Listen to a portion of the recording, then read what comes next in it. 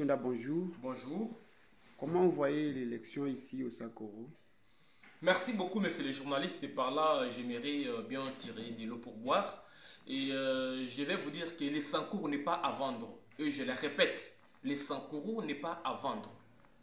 Les élections du 20 décembre 2023, ce sont les élections de trahir Lumumba. C'est pour tuer Lumumba des fois. Car les élections que nous constatons au Sankourou, ce sont les élections de la corruption. Les élections qui ne sont pas fiables. Les élections qui ont sémé beaucoup de zizanie et les élections qui causent maintenant euh, des tiraillements à beaucoup de personnes. Qu'est-ce qu'il est le problème? Je vais vous parler d'abord de là où moi-même je suis. Parce que euh, au départ, je suis candidat député provincial dans le territoire de Lubefou, comme vous le constatez, vous, vous le savez. Euh, normalement, Didier Chunda, c'est quelqu'un euh, qui est ambitieux, quelqu'un qui est populaire, quelqu'un qui est aimé. Mais actuellement, et comme vous le constatez, avec ces élections, il y a des personnes qui se sont mobilisées, non identifiées, et aussi surtout des personnes qui sont en train de vandaliser des machines au bureau de vote. Quand nous nous demandons mille fois pourquoi ceci euh, peut se passer dans notre territoire, nous trouvons qu'il y a de l'incompréhension et nous sommes en train d'analyser. Mais c'est les journalistes, quel est le problème? Constatez avec moi.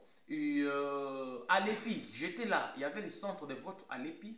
Et euh, là-bas, c'est dans le territoire de Befou, euh, précisément dans le centre-ville de Tchumbe.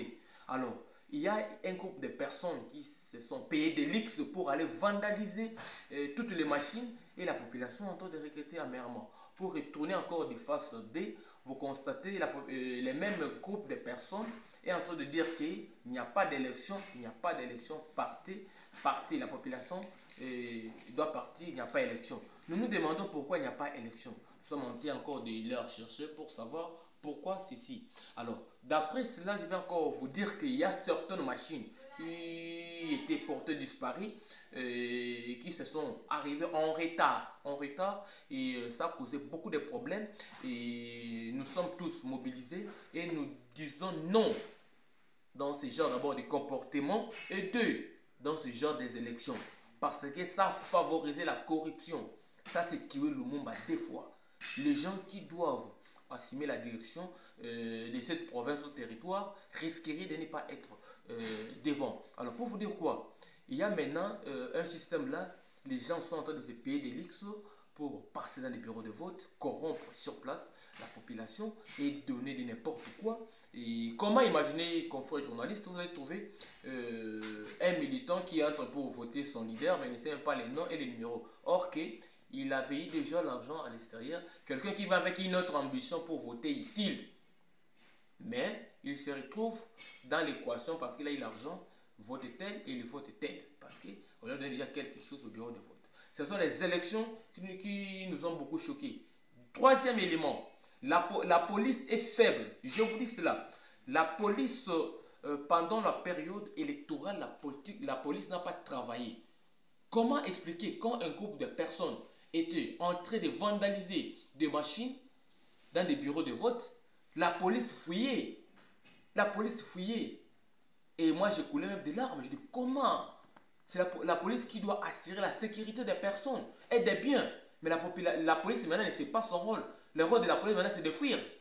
Donc, euh, c'est ça aussi des problèmes euh, qui ont posé euh, beaucoup d'incompréhension. Et maintenant, il y a des faits qui à Tchumbe, territoire de Lbefou, et dans les Sankoro. Alors, ce qu'on peut retenir, c'est quoi?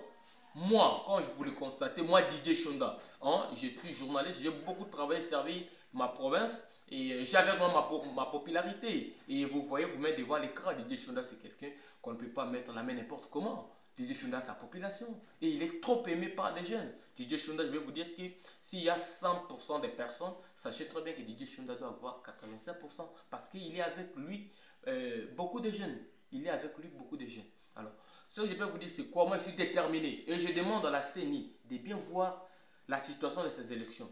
Si la CENI ne travaille pas, ne fait pas bien son travail pour ces élections, sachez bien qu'il y aura l'effet. L'effet va brûler partout. Pas seulement au Sankoro. À Kinshasa, de part et d'autre, vous allez attendre que l'effet brûlera. Parce que la CENI doit travailler très bien et dire la vérité. Mais pour vous dire, ce qui est aussi clair, monsieur les journalistes, les élections du 20 décembre 2023 au Sankourou, ce ne sont pas des bonnes élections. C'est favoriser la corruption, c'est tuer Lumumba. Et c'est par là, je dis, les Sankourou, ma province n'est pas la terre à vendre. Les Sankourou n'est pas la terre à trahir. Les Sankourou, c'est la terre de Lumumba. Nous sommes en train de regretter amèrement ces comportements de corruption. Euh, donc, physiquement et aussi par la force de l'ordre que nous constatons est peut-être faible pour ne pas maîtriser des groupes de personnes qui vandalisent aussi euh, certaines machines au bureau de vote. Donc c'est ça au moins euh, mon, mon intention euh, sur les élections 2023. Nous sommes déterminés, moi Didier Chinda, je vais mourir toujours en parlant, je l'ai toujours dit. Je vais partir en parlant et je vais toujours parler partout où je serai. S'il faut tuer tous les jeunes au Sankourou, je serai peut-être le premier. Pour dire la vérité, c'est ce que je vois. Merci à tous les téléspectateurs. Moi, c'est Didier Chonda.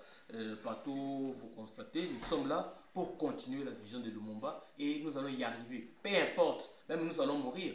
Nous nous sommes décidés de mourir en cours de route. Merci. Merci Didier Chonda pour, euh, pour des interventions que vous avez déjà données. Vous êtes devant l'écran. Je vais vous poser une petite question pour savoir un peu, est-ce que normalement, vous avez un peu de preuves C'est parce que vous avez dit il y a, il y a eu vandalisation. C'est parce que toute chose, quand vous parlez, il faut qu'il y ait un peu de preuves. Alors, euh, monsieur le Didier Chonda, vous avez, vous avez compris tout au départ, vous avez dit euh, je suis candidat député provincial. Justement. Euh, alors, pouvez-vous vraiment nous, nous, prouver un peu de preuves qui prouvent que non, il y a eu un peu de vandalisation? Bien, merci beaucoup. Comme vous le constatez, je, je, ne peux même pas aller derrière les dos de la cuillère. Je vais seulement demander aux techniciens. Je pense que les techniciens peuvent seulement poster déjà. Euh, les preuves sont là, vous voyez avec moi, devant les cas. Et comment la population est en train de se lamenter. Regardez avec moi comment c'était passé. Donc je pense que vous avez vu. Donc c'est ça au moins, des preuves pour ne pas parler, mais on va seulement brandir la caméra, les images, c'est ça, ce qu'on peut dire de preuves. Hmm, c'est ça au moins. Ok, merci, merci. Merci beaucoup, monsieur le journaliste.